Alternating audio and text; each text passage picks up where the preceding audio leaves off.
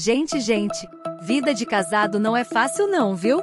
Quem tá dentro quer sair, e quem tá fora quer entrar. Essa frase estaria resumindo a vida do casal Gustavo Lima e Andressa Suíta. O casal estaria vivendo uma grande crise no casamento e prestes a se divorciar a qualquer momento. Antes de te contar todos os detalhes dessa nova crise do casal, dá uma força pra gatinha aqui.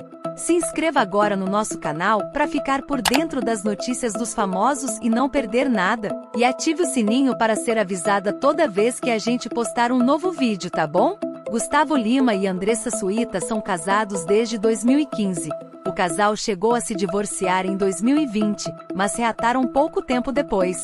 Gustavo Lima e Andressa têm juntos dois filhos, Gabriel de 5 anos e Samuel de 4 aninhos.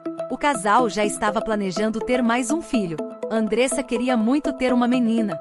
Mas agora com essa crise, fica difícil, né? Adivinha o motivo da briga?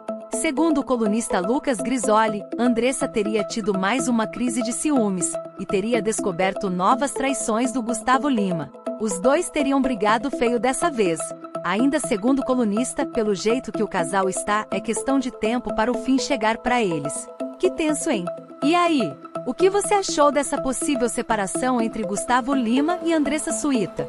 Digita aqui nos comentários pra gente saber. Não se esqueça de se inscrever no nosso canal e deixar o seu like. Até a próxima da gatinha!